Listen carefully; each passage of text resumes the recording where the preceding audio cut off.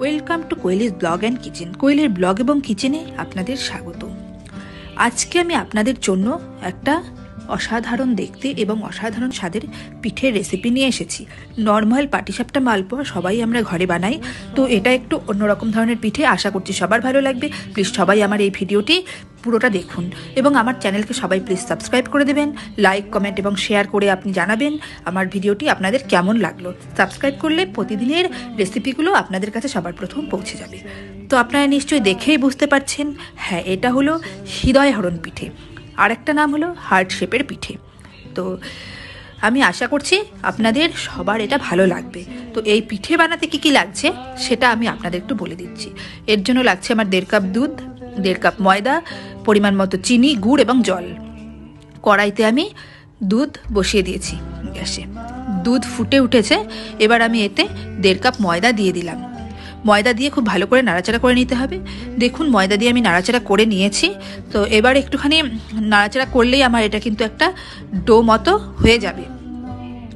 Already আমার কিন্তু এটা ডো মতো হয়ে গেছে।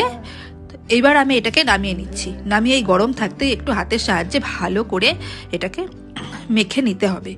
তারপর এর থেকে আমি পাঁচটা লেচি কেটে নিয়েছি।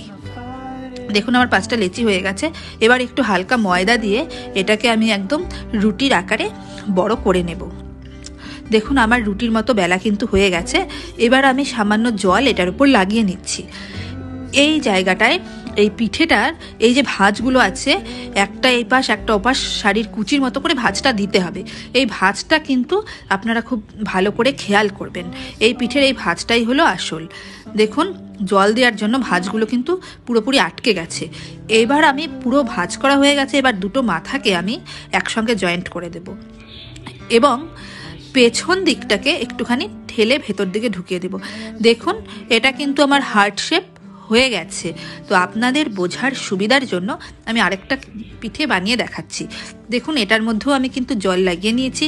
এবার আমি এটাকে আস্তে আস্তে ভাজটা করে নিচ্ছি। আপনারা এভাবে চাইলেও ভাজটা করে নিতে পারেন।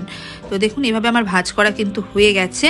তো এইবারও একই পদ্ধতিতে আমি এই পিঠেটারও মাথা দু সাইড থেকে মুড়ে দেব এবং পেছনটাকে একটুখানি ভেতরে ঢুকিয়ে দিব। মাথায় কিন্তু জল লাগিয়ে নিতে হবে। হ্যাঁ দেখুন, এই পিঠেটাও কিন্তু আমার তৈরি হয়ে গেছে। তো এইভাবে আমি সব পিঠেগুলো করে নেব। দেখুন, আমার পাঁচটা পিঠেই কিন্তু বানানো হয়ে গেছে। এদিকে কড়াইতে আমি তেল বসিয়ে দিয়েছি। গরম হওয়ার পর আমি তেলে কিন্তু পিঠেটা ছেড়েও দিয়েছি দুটো পিঠে। এইভাবে উল্টে পাল্টে আমি লাল হয়ে গেছে। এই লাল করে তুলে নিচ্ছি।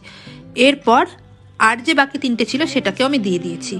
দেখুন, সব ভাজা হয়ে গেছে, নামিয়ে নিয়েছি। এবার শিরা বানাবো। পরিমাণ মতো জল তার মধ্যে গুড় দিয়ে দিয়েছি। দশ মিনিট পর দেখুন শিরাটা ফুটে উঠেছে। এবার আমি নামিয়ে নিয়েছি।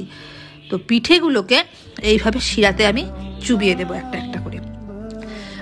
তারপর পিঠেগুলোকে আস্তে আস্তে এই চিমটা দিয়ে উল্টে পাল্টে দিতে হবে। আপনাদের যাদের মচমচে পিঠে খেতে ভালো লাগে, তারা এখনই শিরের থেকে তুলে কিন্তু এটা খেতে পারবেন। খুব মচমচে হয়, খেতে কিন্তু খুব ভালো লাগে। আর যাদের একটু নরম পিঠে পছন্দ, তারা এটাকে একটু আধা ঘণ্টা ভিজিয়ে রাখবেন। আমি কিন্তু তিরিশ মিনিট ভিজিয়ে রেখেছি।